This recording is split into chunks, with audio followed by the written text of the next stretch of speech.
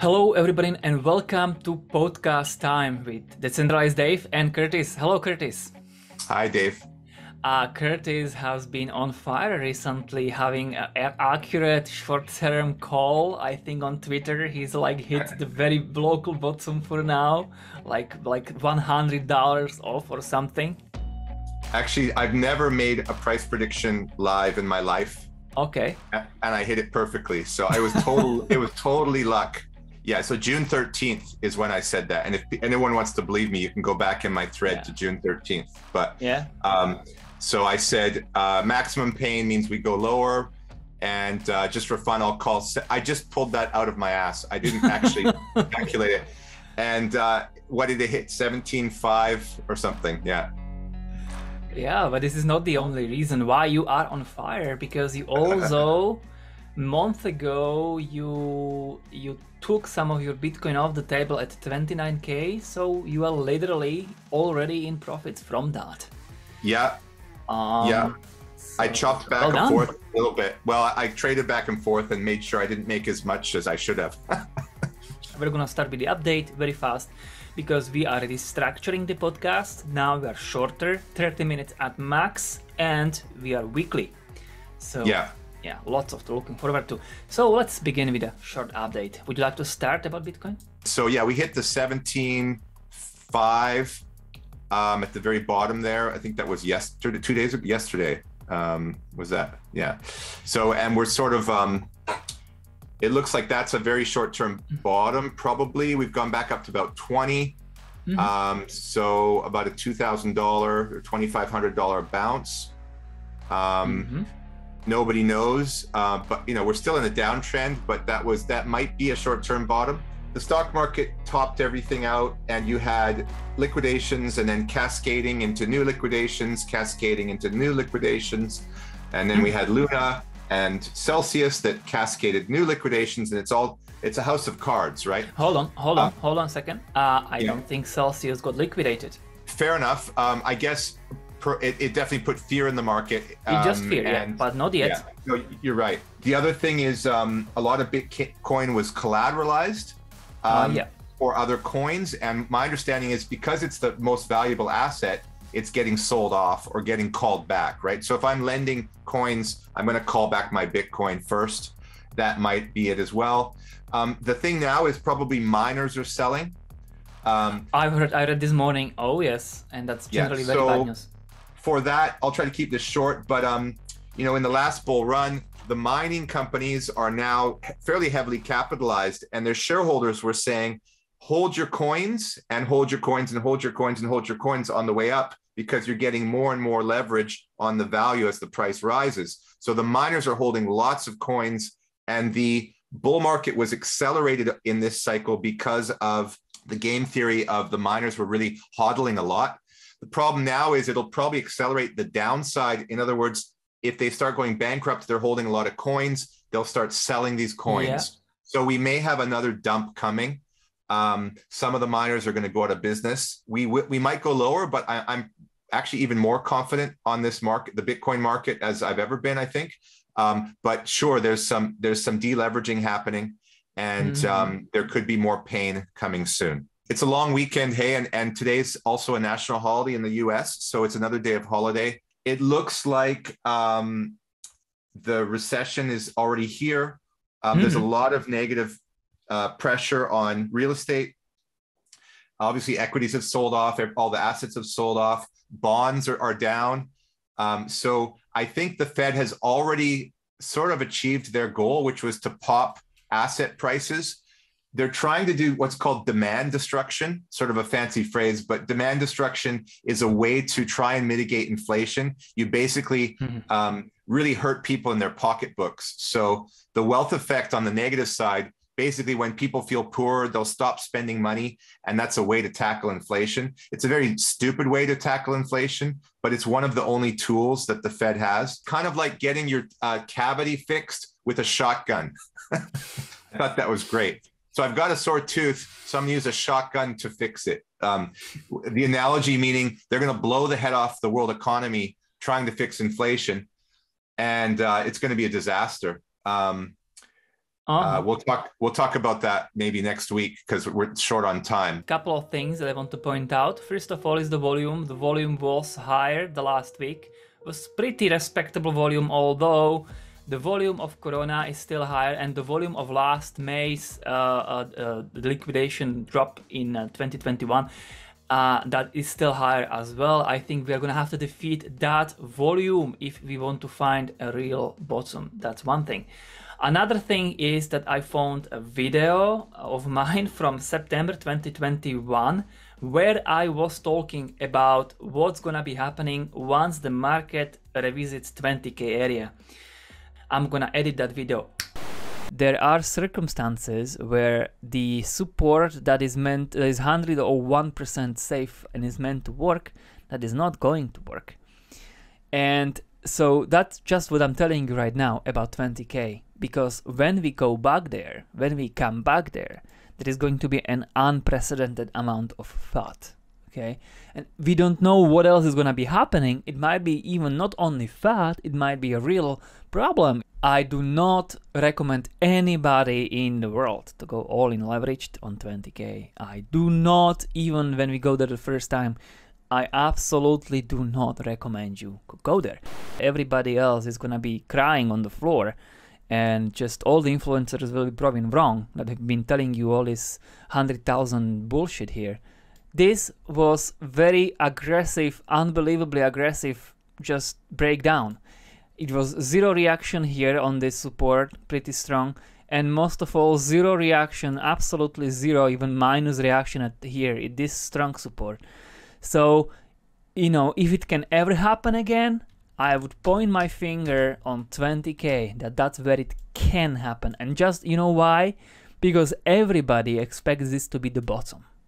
Everybody, even all of those influencers that were hesitating whether really 100k here, they told you that okay, 20k is the bottom. Everybody expects that to be the bottom and even to be recovered from very quickly.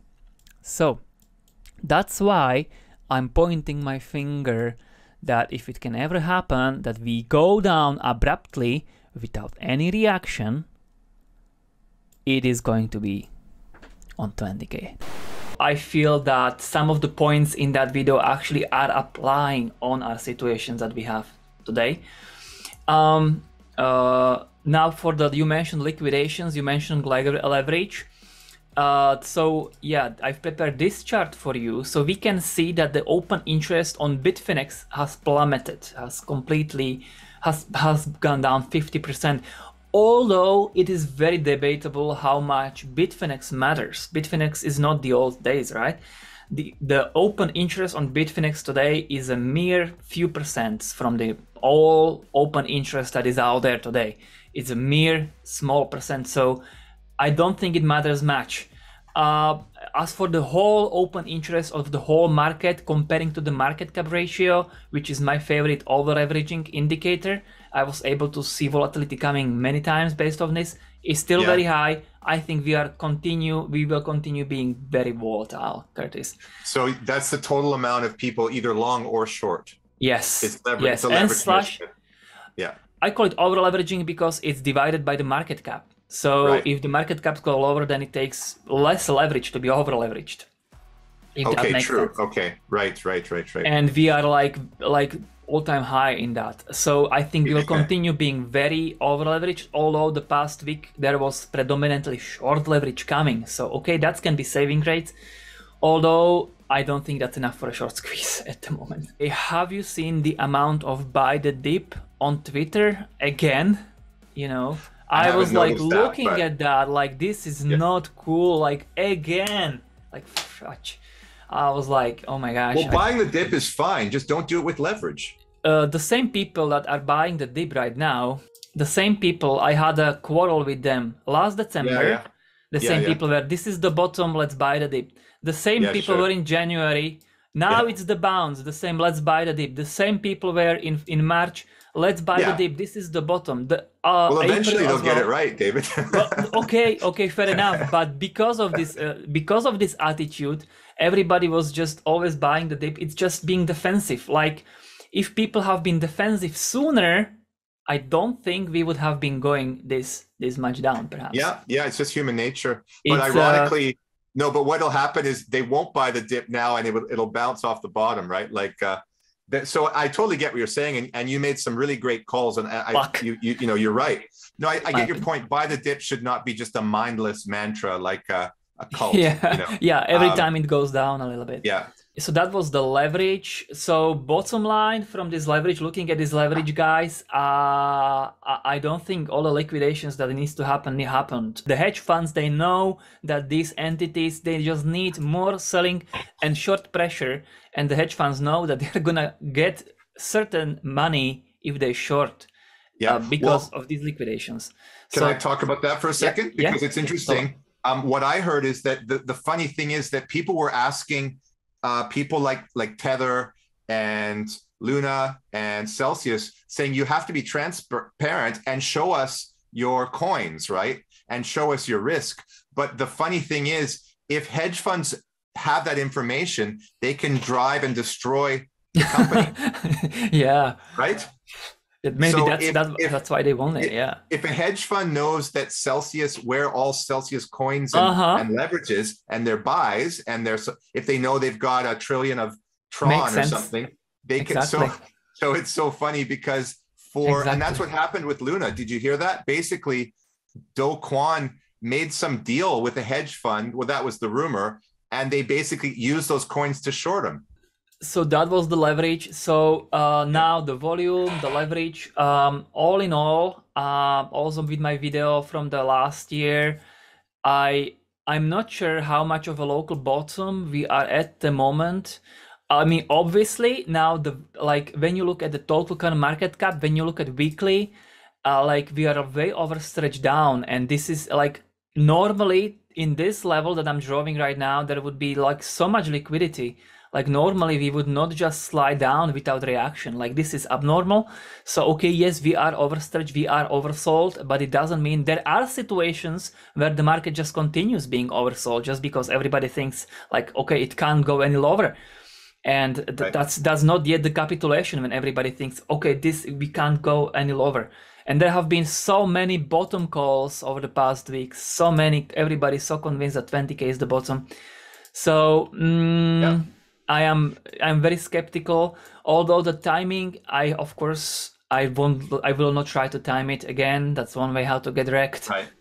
Yeah. So again, I, I didn't really have a presentation on this. I just wanted to continue the theme from our last, uh, for people that have listened and, and watched our last uh, video. Um, I'm really stuck on this theme, um, and it's. I'm sorry, it's contrary to some of what your predictions are, but it's very pro Bitcoin. But I'm getting quite excited about this analysis I'm doing here.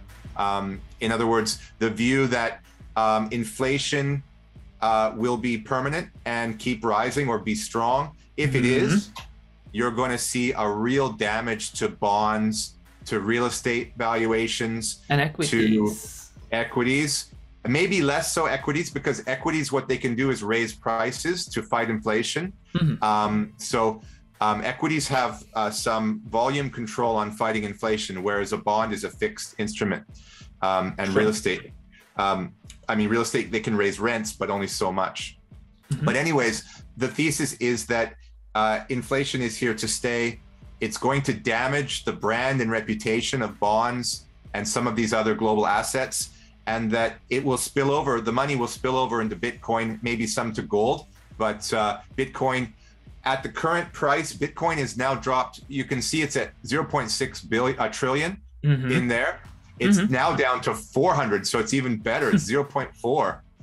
Yeah. Um, of course, equities have fallen too since this chart was created, but um, basically that, um, like some people are saying, the Fed is going to pivot and not raise rates, but inflation will keep running, right? So the the Fed rate changes are different than the whether inflation is continuing. And my argument is that the Fed cannot raise rates because they'll crash the world economy. They're going to keep the money printing going. Um, All Mhm. they're trying to do now is scare people to crash the markets to try and hold back inflation, but they're not going to be able to do it Mhm. because um, they would default. And therefore, you're going to see inflation, and people are going to say, We're not interested in bonds anymore because like the, the Japanese 10 year bond pays 0.2%, and the Japanese yen has fallen 17% against the US dollar this year. So in six months, you lose a thousand times the value of the asset. So basically, I'm going to stay with this thesis and keep coming back to it, at least until I'm wrong. Hopefully, I'm not wrong, but that we're going to see a rebalancing of these pools of cash real estate, bonds, equities, art and collectibles, mm-hmm. gold, silver. I cash. agree, we will. I agree. And that Bitcoin will get a small percentage, and alts for you alt lovers will ride on that, and you'll have another bull run in in in crypto. Let's call it. All the other way around. You're going to see three to six trillion dollars, maybe more, and and a call option on fiat failing, and uh, that was the original case. Bitcoin Bitcoin might go down to ten thousand and have a bear market mm-hmm. for a couple years, yep. but eventually yes. we're going to have that recover.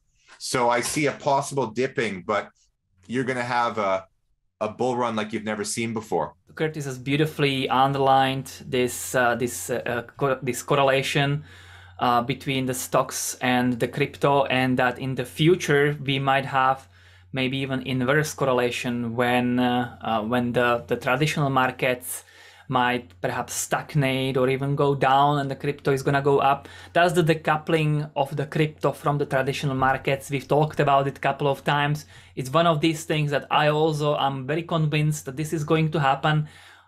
I don't know the timing, of course. So far, crypto is very correlated to, to the stocks, and based on that, we can uh, we can also try to read if we have hit the bottom. And the first thing, if you want to try to do something like this, you have to be looking at the chart that you know that nobody else is looking at. And there is one chart that I, I know nobody else is looking at because it's my own and I've never seen anybody else use it. It's it's the BLX slash SPX chart and I have prepared a new for you today. So we're gonna have a look at that. So from this chart guys, we've almost hit my blue line this my blue line here is one first my proposition where we could have a local bottom.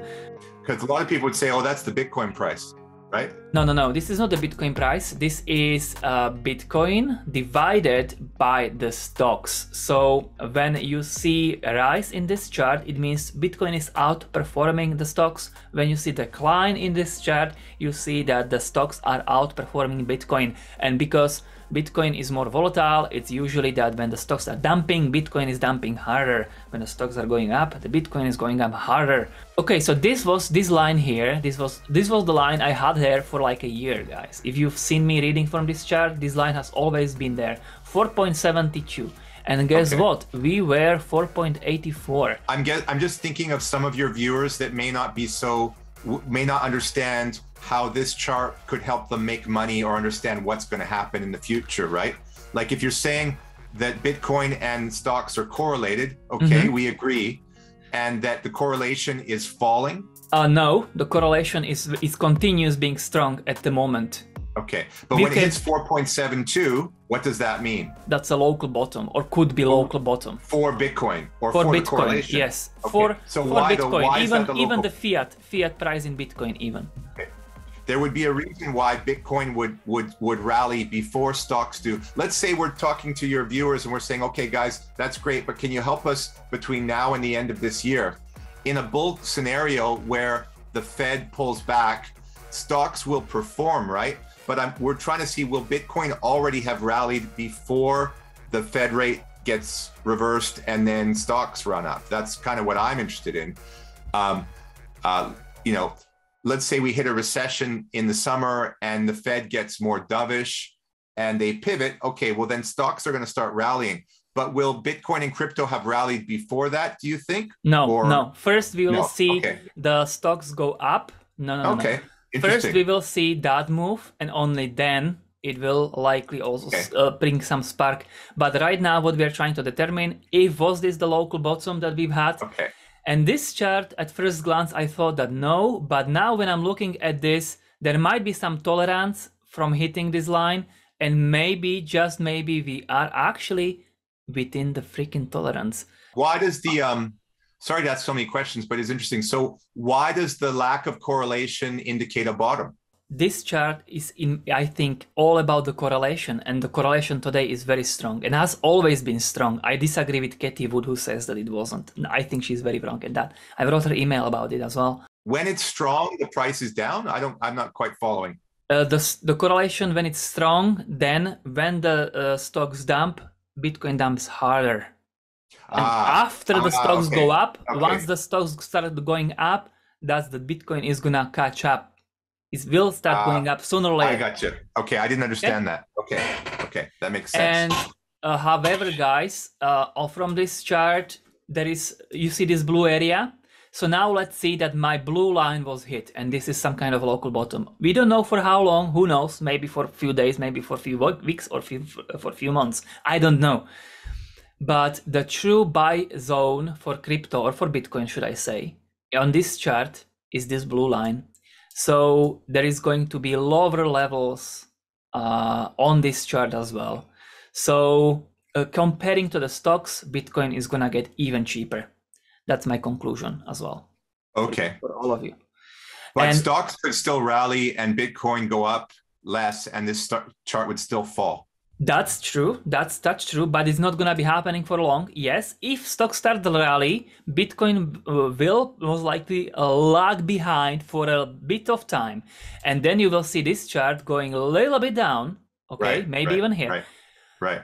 But that's the then I can I'm very likely that the the Bitcoin will try to catch up, and then it's gonna you know do some upwards movement, but it will it can be lagging for a little bit. Yes. And uh, last but not least, the stocks. The stocks I have generally two targets. The first was bearish. I've already had this target here for uh, like half year or even more. Yeah. Uh, this blue line, and it hasn't been hit by far. It's still quite away. And then I even have ultra bearish lines. So, but let's not talk about that one today. Right. So uh, I guess that would be all from from me uh, for the moment. Uh, let's just maybe argue a bit about Bitcoin and Bitcoin dominance of the market.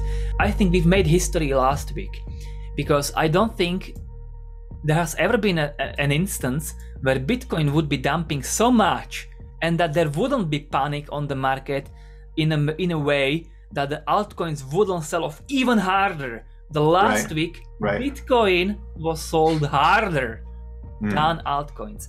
I think we've made history here. And the question is is this the beginning of the decoupling that I keep blabbering about?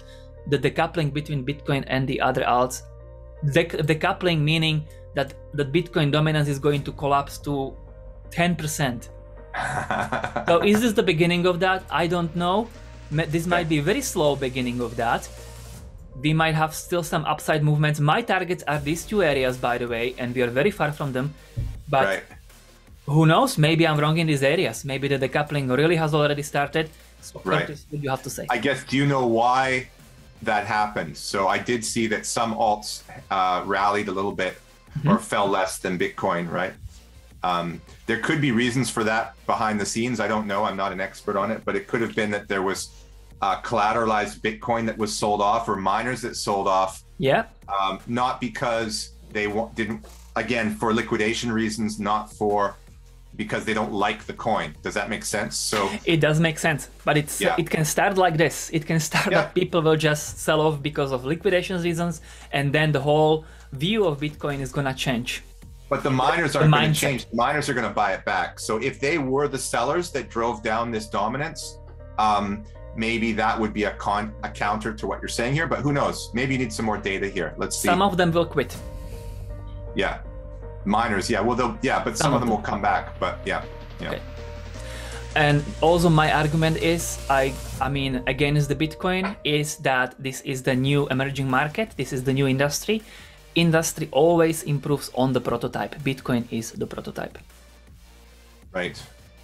Also i've read the white paper. Well okay like everybody should read it, but I finally read it like thoroughly, like slowly, and was really like trying to go deep.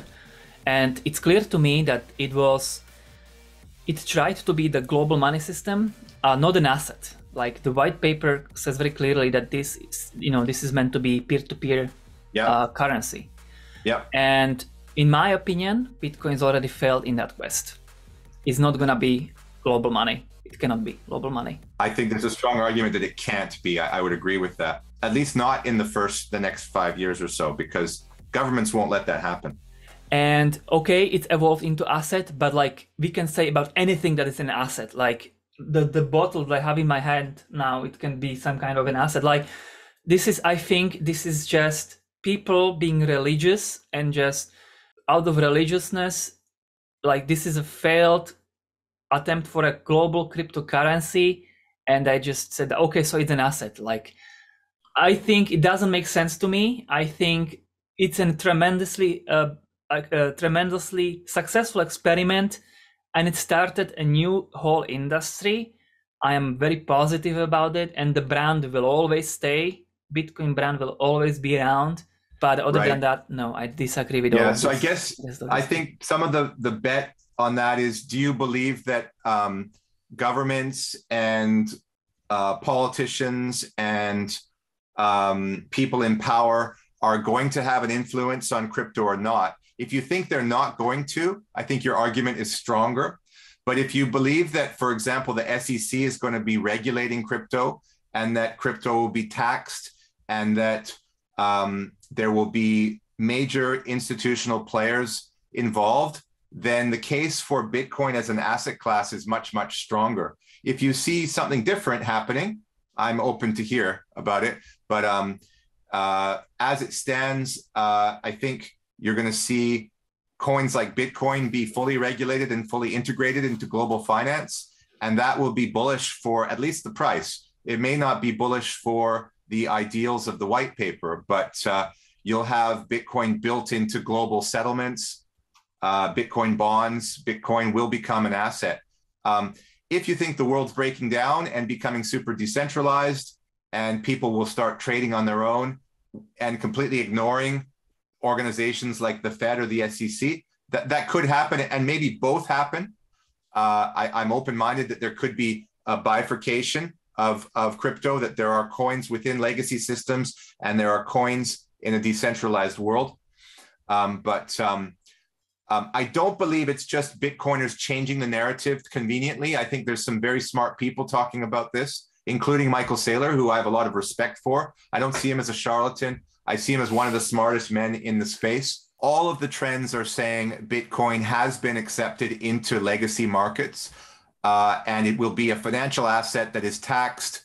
It's problematic for it as a peer to peer coin. So, your point about the Satoshi white paper is valid. Um, but that doesn't mean that that uh, it's not going to be the winner in the markets, anyways. Well, my Um, argument would be that the Bitcoin is tremendously successful experiment only thanks to the fact that it was decentralized, that the decentralized decentralized factor, trustless aspect of it, the first ever Yeah. internet coin that that happened to be trustless. That's what made it in the first place so tremendously uh, successful experiment. It still retains a lot of the the, the non-sovereign aspect to it.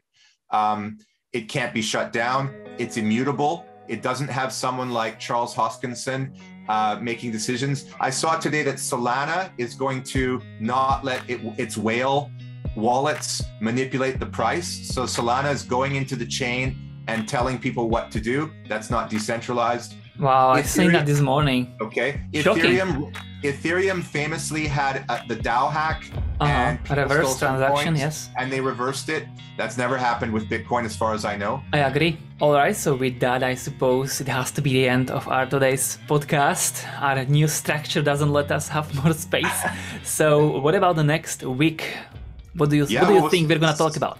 See what happens. I still have my same theme about inflation. I'm really interested in how macroeconomics are impacting crypto, and I think a lot of people aren't talking about that. So I think that's kind of when you and I created this this uh, version of your your channel. It was to try and connect the two. And let's see what the next week brings. I think we will be way clearer the next Monday whether we have actually hit some kind of a local bottom or when we haven't. So stay with us.